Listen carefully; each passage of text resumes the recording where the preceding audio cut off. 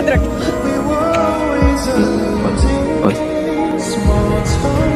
तुम्हारे पास ज़िंदगी की सारी आसाइशें होंगी। लेकिन मोहब्बत नहीं